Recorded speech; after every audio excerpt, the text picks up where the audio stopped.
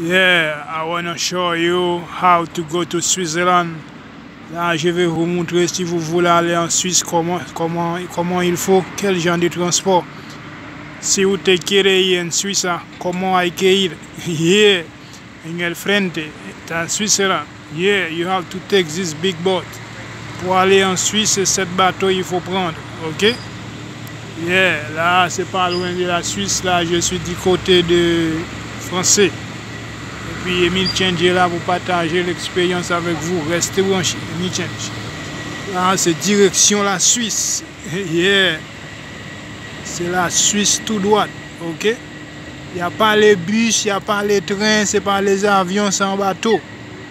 Parce qu'il y a de l'eau. Là, il y a un lac immense. Là, c'est chemin pour aller en Suisse. Ok? Ok.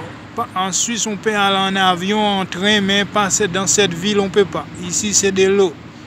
Ici, dans cette ville qui s'appelle Evian-les-Bains, Tonon-les-Bains, du côté français. Si vous voulez aller en Suisse, il faut, prendre, il faut aller en bateau. Alright?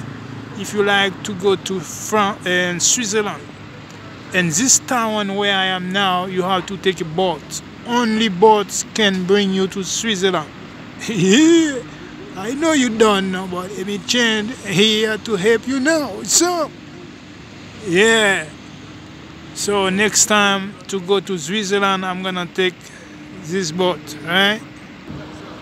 Yeah, the boats keep going, right? A lot of water so you can see and the sun the sun is not it's not hot it's not warm. It's very cold time. Alright? No sun shining.